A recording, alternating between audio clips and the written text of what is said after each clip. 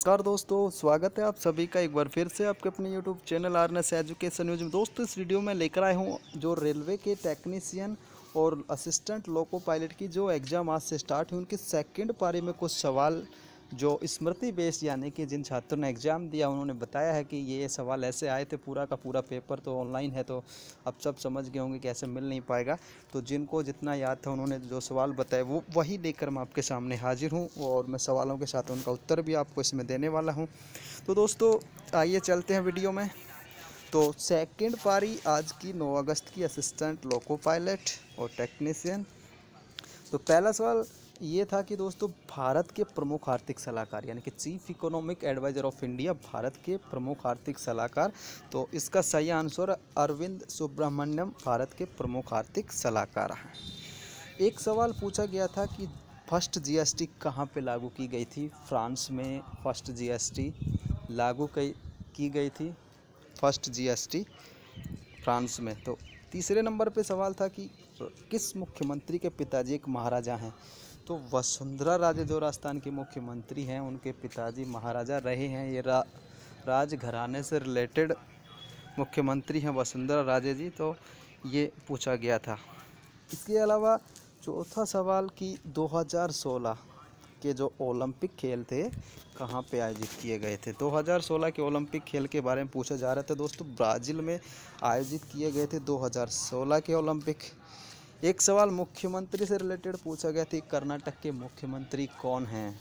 तो H D Kumaraswamy Karnataka के नवनिर्वाचित मुख्यमंत्री हैं। तो मुख्यमंत्री के सवाल भी आप देख के जाइएगा। मुख्यमंत्री राज्यपाल राष्ट्रपति उपराष्ट्रपति इसके अलावा जो भी प्रमुख भारत की, की संस्थाओं के प्रमुख हैं C B I I B इनके भी आप चीफ याद करके जाइएगा। ऐसे सवाल भी ज़रूर पूछे जाएँगे।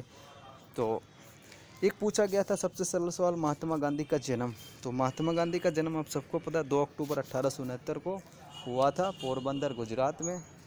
तो ये सवाल पूछा गया था। एक पूछा गया था, दादा साहब फाल्के पुरस्कार किस क्षेत्र में दिया जाता है? दादा साहब फाल्के पुरस्कार भारतीय सिनेमा में जो कलाकार हैं, उनके योगदान को दर्शित किया जाता है इस पुरस्कार के तहत, यानी अतुलनीय योगदान जो सिनेमा के क्षेत्र में तो सिनेमा के क्षेत्र में ये पुरस्कार दिया जाता है। तो ऐसे पुरस्कारों के सवाल भी पूछे जा सकते हैं कि ये पुरस्कार किस क्षेत्र में दिया जाता है, शांति का पुरस्कार किस क्षेत्र में दिया जाता है?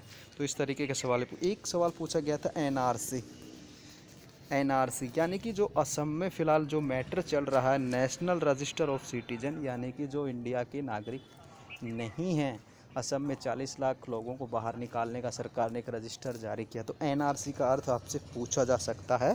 तो एनआरसी का अर्थ होगा नेशनल रजिस्टर ऑफ़ सिटीजन। इसके अलावा एक सवाल था कि कृत्रिम वर्षा, यानी कि कृत्रिम वर्षा किस रसायन से कराई जाती है? तो सिल्वर आयोडाइड से ये कराई जाती है, सिल्वर आयोडाइड। फ्यूज वायर में लाइट्स किस तरह से होती हैं? तो सीरीज़ में होती हैं ये लाइट्स, फ्यूज वायर में लाइट्स सीरीज़ में होती हैं। एक सवाल दोस्तों पूछा गया था सिक्किम के राज्यपाल। सिक्किम के राज्यपाल पूछा गया था। तो श्रीनिवास पाटिल सिक्किम के राज्यपाल हैं। ये सवाल पूछा गया था सिक्किम के राज्यपाल के बारे में पूछा गया था। एक हेलीकॉप्टर के आविष्कारक कौन थे? तो ये दो सवाल भी पूछे गए थे मैंने इसमें शामिल नहीं कर पाया। बाद में मुझे पता लगा तब तक मैंने ये लिस्ट तैयार कर ली थी। ये दो सवाल और पूछे गए थे सिक्किम के राज्यपाल और हेलीकॉप्टर का आविष्कार किसने किया? तो ये सवाल थे आज के कुछ सेकंड शिफ्ट के कुछ सवाल मैंने आपके लिए जुटाए थे। तो दोस्तों जैसे ही आ, मैं एक बार फिर निवेदन करना चाहूँगा कि जिन दोस्तों को ये वीडियो पसंद आए लाइक